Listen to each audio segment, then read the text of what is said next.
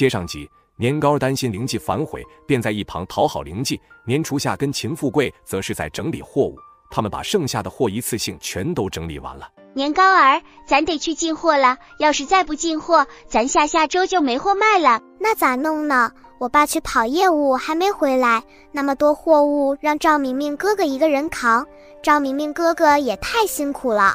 正在忙活几个小孩晚饭的赵明明一脸懵逼，咋又听到我的名字了？又有我的事儿啊？看看我要求加工资不过分吧？赵明明瞅了小胖丫的背影一眼，看在自己要涨工资的份上，赵明明没找小胖丫的麻烦，暂且就让这份苦力活落自己头上。毕竟小胖丫确实替我争取了加工资的事儿。至于加多少，赵明明心里也没啥大想法。如果是加两块钱也行，他就求个心理平衡；如果是加五块钱，那就是超出了他的预期，很满意；如果是加十块钱，赵明明觉得让他一周扛两次货都成。吃完晚饭，一群孩子跟往常一样坐在沙发上看电视，电视上播放的是小猫钓鱼，年糕看得非常认真。咪咪真是太三心二意了。我们不能跟咪咪学，像他那样呢。啥时候才能钓到鱼呢？嗯嗯，没错，真的能钓到鱼吗？拿蚯蚓就能钓到鱼。我以前钓到过鱼，挺大一条呢。我想起来了，我妈不让我下河摸鱼，那我要是在岸上钓鱼，我妈就没办法揍我啦。年糕儿，你屁股还肿着呢，你就惦记着要去钓鱼啦？钓鱼咋了？小猫都能钓鱼，小孩为啥不能钓鱼呢？妈妈说不让我下河摸鱼，又没说不让我站在岸边钓鱼呀。钓鱼不危险的。年初夏，秦富贵说的，你听到了吧？钓鱼一点都不危险，为啥不行呢？我给家里省买鱼的钱，自己钓一条上来吃，这还不行啊？赵明明哥哥，你说钓鱼危险不？不危险吧？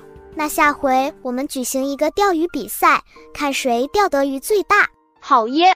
但是年糕儿，钓鱼最大的人有奖励不？年糕儿很认真的想了想，我的货是卖的，咋能拿来当奖励呢？我们得找一个不卖货的人，拿东西出来当奖励才行。话音刚落，年糕的视线落在了灵记的身上。灵记，你作为小卖铺有钱的老板。愿意拿东西给咱们的钓鱼大赛当奖品不？灵记拿眼瞅了小胖丫一眼，咱们的？对呀，我们都是你的好朋友，当然是咱们的钓鱼大赛了。你说对不？我没兴趣。你咋能没兴趣呢？你一个小孩是祖国最好看的花朵，是向着太阳生长的，就应该积极向上。你咋小小年纪就活得像个小老头，对啥都没兴趣呢？那我应该咋弄才不像个小老头呢？当然是要对啥都感兴趣啦！你要拿东西给咱们的钓鱼大赛当奖品不？既然你都这么说了，那好吧。不过我要拿什么出来作为奖品呢？我去看看你的零食盒吧。年糕跟灵记去看他的零食，年初夏和秦富贵在旁边围观。这个好吃，这个也好吃，这个最好吃了。你觉得我用这个给钓鱼大赛当奖品，你觉得咋样？嗯嗯，年糕在里面挑了两个大大卷，三个果冻和十块糖，都是最便宜的。如果就一个奖，那大家都争第一名，那多没意思啊！咱也要跟学校学，第一名小猪，第二名大鹅，第三名小鸡。我觉得这样的话会不会有意思一点，好玩一点？就算没有第一名，还有第二名和第三名。赵明明都不知说啥好了。年糕。你这些鬼主意到底都是谁教给你的？咋想到的呢？赵明明哥哥咋能说是鬼主意呢？不都是跟大人学的吗？大人咋做，咱们就咋做就行了呀。钓鱼大赛的奖品确定后，年糕儿在作业纸上写钓鱼大赛怎么做的过程。你要是想正经办钓鱼大赛，是不是应该设置报名环节？报名又不是开学，为啥还要报名呢？既然你都要发放奖品了。那肯定会有人冲着你的奖品参加比赛，你要掏腰包拿奖品，你愿意把最后的奖品给你从来没见过的人吗？那当然不行，我都不认识他，我为啥要把奖品给他？对呀，那万一有其他没报名的人来参加咋办？对哦，你要不说我都没想到这个，那咋弄啊？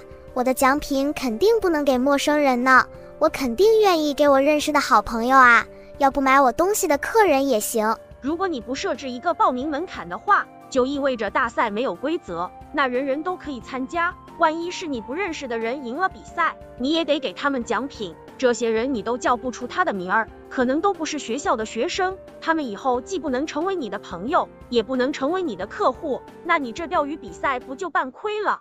年糕抓抓小脑袋，那咋弄呢？所以你要制定一个比赛的规则，规则就是你定一个纪律，让所有参加钓鱼大赛的人都要遵守。这个大赛报名的参赛者会自觉团结起来，不允许其他没有报名但赢得比赛的人获得奖品。灵记，你咋这么聪明啊？我都没有想到这个。你不是说我要活得积极一点吗？那我就帮你想好了。还有呢？还有呢？还有就是大家钓上来的鱼咋办？啥意思啊？